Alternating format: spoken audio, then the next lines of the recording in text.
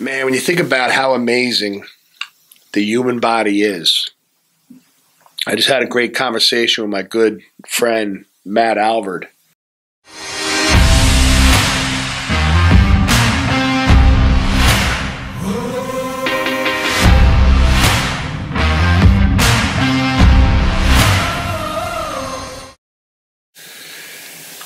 The title of it's going to be Are Your Answers Killing You? And when you listen to it, if you haven't already, it's a brilliant statement he comes up with at the very end of the podcast. Are your answers killing you?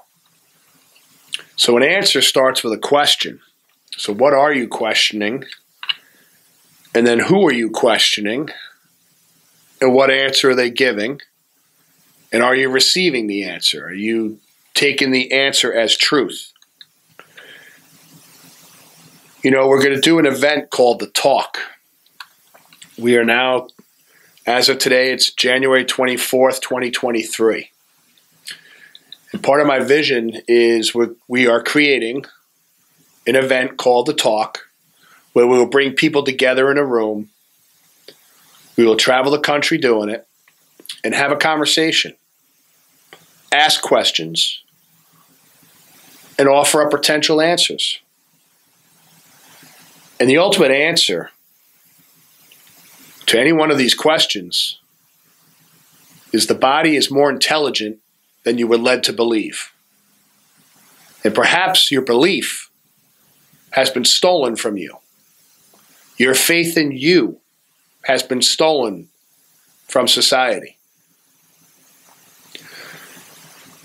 Your perception of life and what you believe in today can affect the outcome of your life and health tomorrow the decisions you make and whose truth you are living by, specifically if it's not your truth but it was thrown upon you, could be making you miserable and killing you.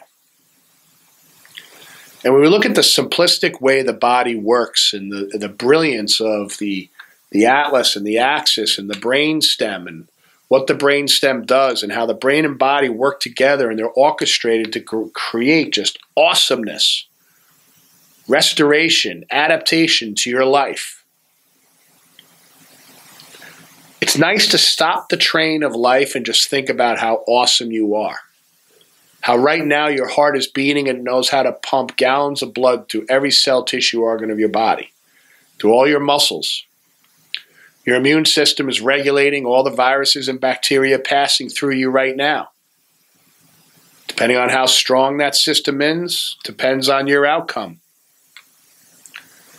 You know, you look at, for example, how someone may look at a fever. Is a fever good or bad? Well, a fever is always good. It's the body's natural defense against something that doesn't belong there.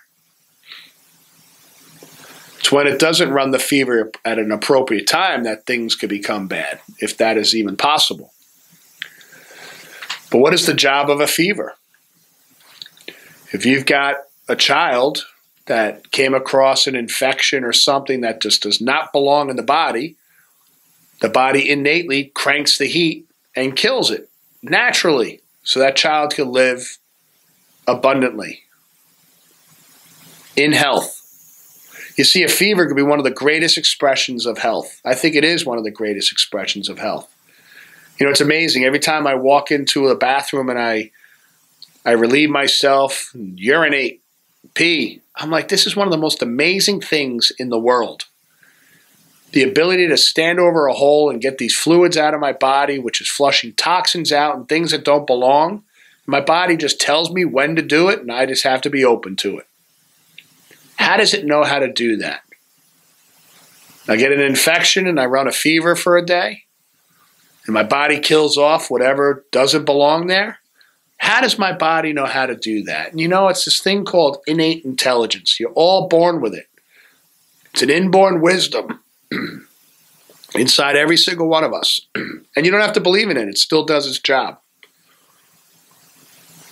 If I take this Atlas and Axis model, for those of you listening, I'm holding one in the air and I drop it, it's going to fall every time. No matter what I think or believe, it's called gravity. It's a natural law.